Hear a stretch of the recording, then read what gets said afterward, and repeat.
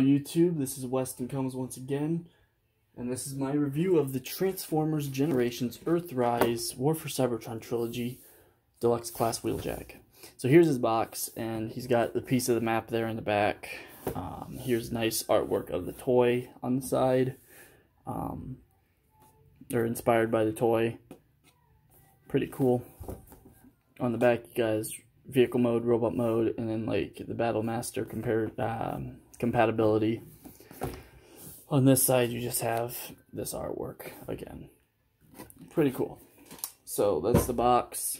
Here is Wheeljack in his vehicle mode. And this is a really nice figure. So let me scroll down a little, or roll the camera down a little bit so we can take a look. And this thing is great. Um, Paint-wise, he has all kinds of decos all over this thing. Um, the only paint I don't really care for are the hubcaps here. They're kind of an orangey, uh, orangey red. It's definitely showing up in the in the camera here. How orange they look. Uh, the green is a bit muted. Uh, it could have been a lot brighter, I think. And then this red almost looks like it's muted as well, a little bit. Um, he's not quite as bright and, you know, as Wheeljacks have been in the past. Uh, for comparison, I'm going to go ahead and grab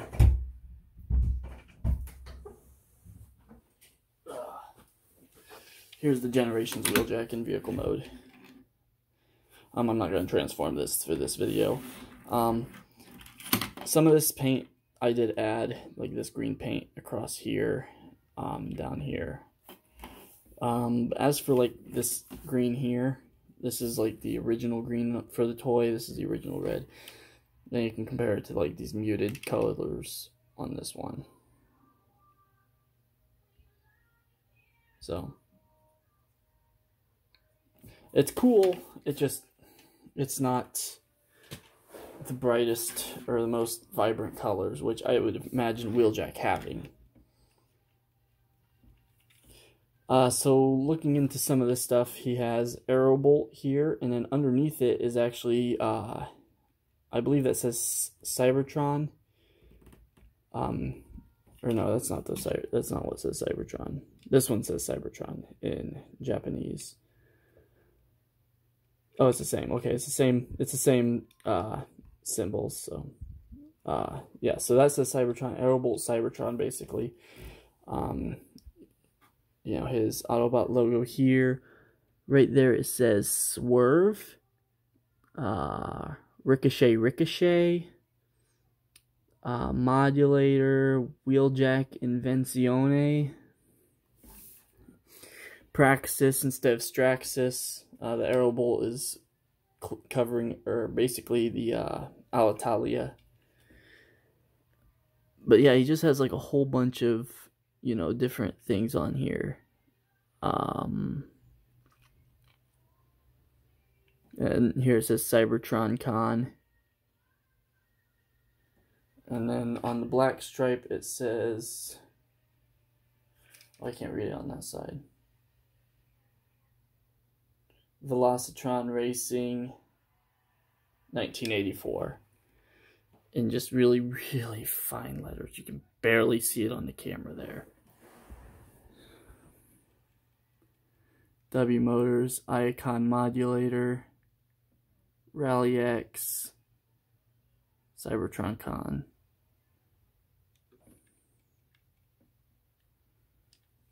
see if I get to focus really nicely. Rally X, Lucky,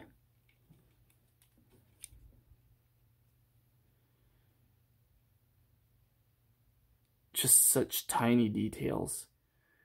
And then the 638, um, I think due to, uh, due to licensing, they couldn't use the uh, original number or whatever that he had in the original toy and stuff like that because it was an actual car. So covering this, you can actually take the spoiler parts off uh, if you wanted to. And they can kind of, I guess, stick under here if you wanted to do like a ski mode for him. I don't know. Or like, there's a lot of uh, replacements on Shapeways that I've seen. Um, just 3D replacement parts. I think these, you know, are good enough wings for, you know, my display. So he does come with one accessory. He comes with this uh, weapon, shoulder cannon thing, rocket launcher. And you can store this on any of the 5 millimeter ports. So like you can store it there on top if you wanted. I like to store it on this one back here. I wish you could store it underneath, like in this cavity here. That would have been nice. Um, but yeah, I like to just store it back here. It rolls uh, not too well. Like this front wheel here doesn't seem to be making contact. Neither of the front wheels seem to be making contact. That's weird. It almost seems like these ports here are actually lower than the wheels.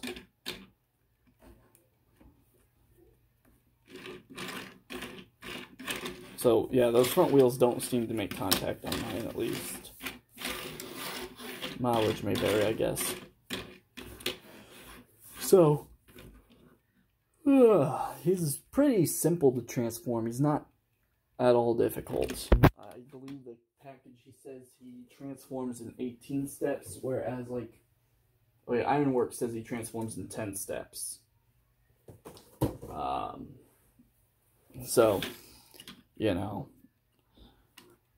I think some of them, I think, let's see, Hoist transforms in 20 steps. So, you know, he's fairly uh, normal for the deluxe scale uh, transformation stepwise.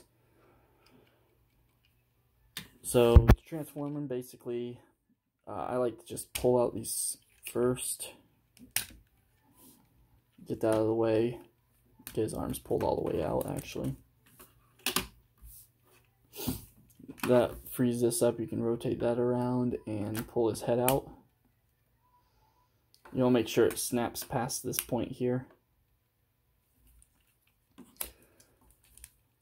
Bring the windshield out. The whole windshield doesn't come out. Oh, what the heck? Oh, it's just on a clip, okay. I did not notice that before. This is just on like a friction clip here. So this can come off easily. I guess that that helps because you don't want to break this. Otherwise, you're pretty much screwed. Anyway, you want to bring this up and tab that into his chest. Nice. And that will lock this top portion we swiveled earlier in place.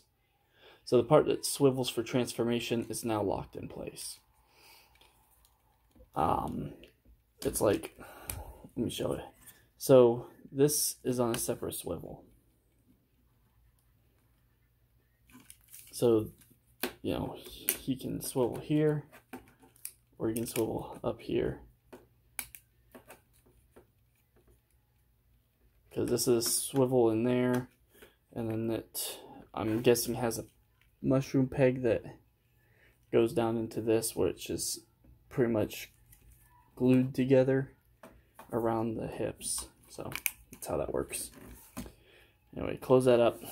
Then you want to pull out the legs pull them apart. You want to take this and carefully and pull that out like that now this part's just you know, frictioned on, so it's just on this clip. Uh, anyway, so pull that out, flip this down. So you want to make sure it's flipped down all the way as far as it'll go. And that will slide right into this cavity here. Same on the other side. Pull this out, flip this down, fold it in. And then just kind of separate, let's see, how is it? It's clipped here, sorta friction clip. And then it's double hinged here and here. Bring that down like that. And then you do want to undo the ankle rock. It is clipped in pretty tightly up inside there. So you'll make sure you undo that so that's freed up. So, just fold this forward and just to free it up. And that's his legs done. His arms, you want to just swivel them here and swivel them at the wrist. Bring them down. So swivel, oh, swivel the wrist, swivel the biceps so everything's oriented properly and bring it down. Just taller than the camera angle or the camera frame, so bring that up. And then you want to just rotate these in that 5 millimeter point. And there is Wheeljack transformed. And he looks pretty nice. bring him down. Focus on him. So there's Wheeljack. And he looks like Wheeljack. He looks very nice. Uh, his legs are a bit wide, uh, just because they can't transform it like the Masterpiece at this, you know, price point. It's understandable. Uh, he has ports on the back of his legs instead of on the sides of his legs.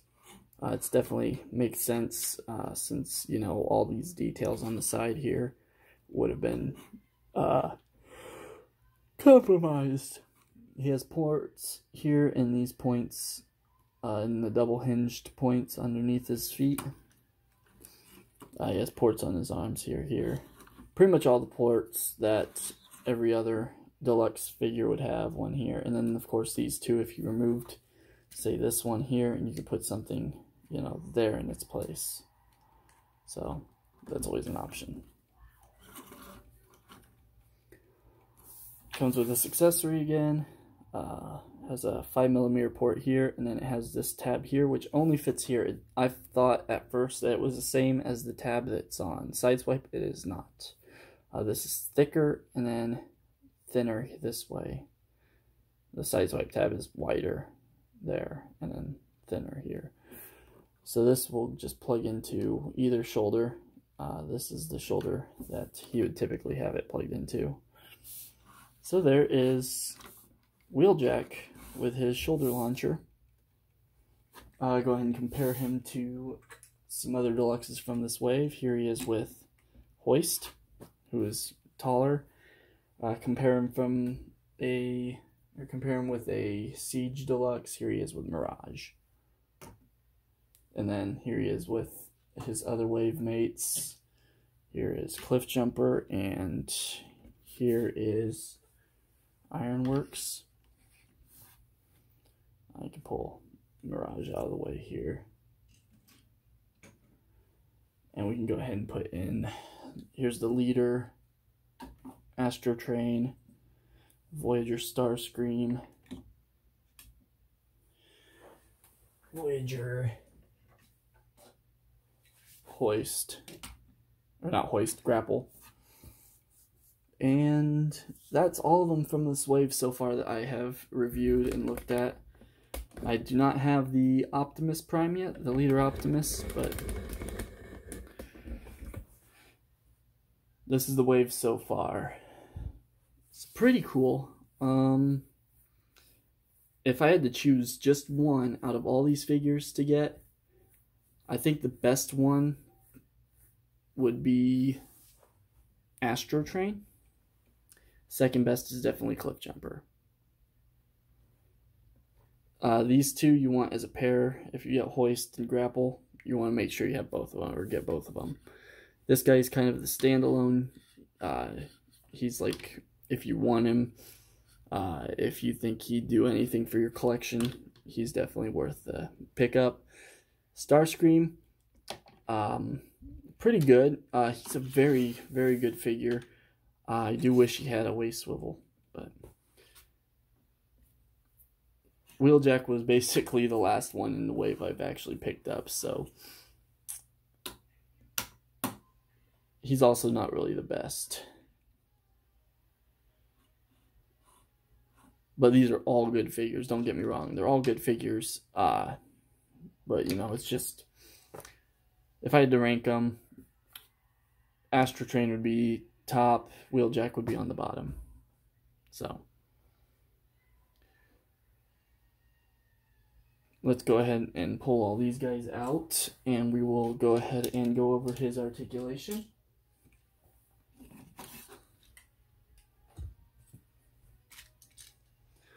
So articulation, he has a, oh, I gotta get that uh, proper. All right, so he has a rotation, a ball joint on the neck. Can kind of emote a little bit. Can't look up very much. He can look down a little bit. Probably enough to talk to Bumblebee about getting those uh, energy rods. Um, he has this hinge here and then a hinge here so you can actually get his arms out quite a bit rotation up that far you can go all the way around with it bicep rotation it doesn't go all the way around it gets hung up right here single joint at the elbow. Wow, wrist swivel. Rotation at the waist. His hips are universal, so they can go out all the way like that. Forward that far, back that far for the full Monty. And the full Van Damme.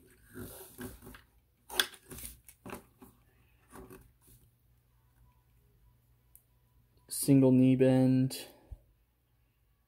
get you 90 degrees. And then the ankle rotation, as well as, yeah, he can make that really far step right there with his, uh, those joints.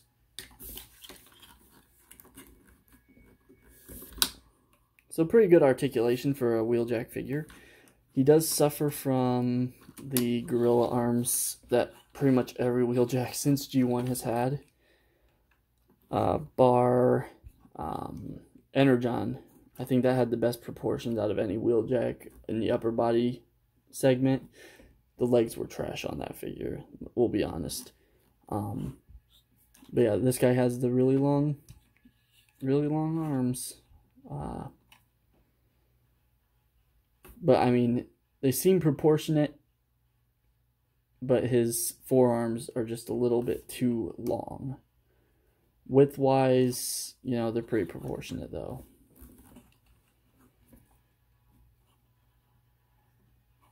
So yeah, definitely if you really, you know, if you feel he's necessary for your collection, which Wheeljack is necessary for any collection, um, but there are other options. There is the Generations one, which I thought was good enough, but after reviewing, you know, watching videos and stuff, this thing kind of falls apart compared to this.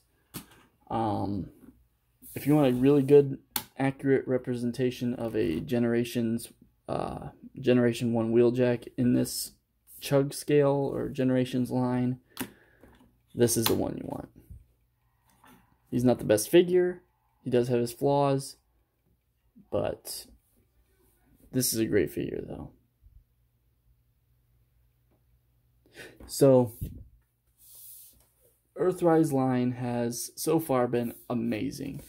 Um, there hasn't been one that I've regretted buying. There, at first, I was kind of on the fence about some of them.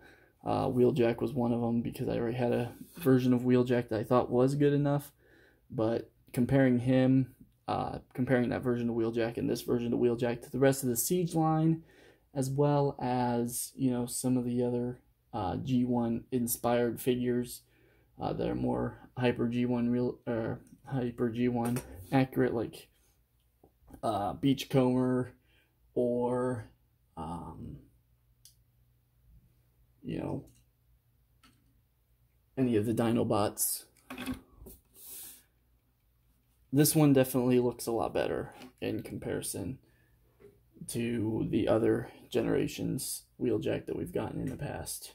Uh, so definitely worth the money to me. Uh, definitely worth the price. Does he belong in your collection? I'd say that's up to you. If you have the Generations one, which is pretty decent, um, and you don't feel like this needs to be in your collection, that's kind of, you know, it's your prerogative. So, this has been my review of the Transformers Earthrise uh, Wheeljack. Thanks for watching, and until next time, till all are one.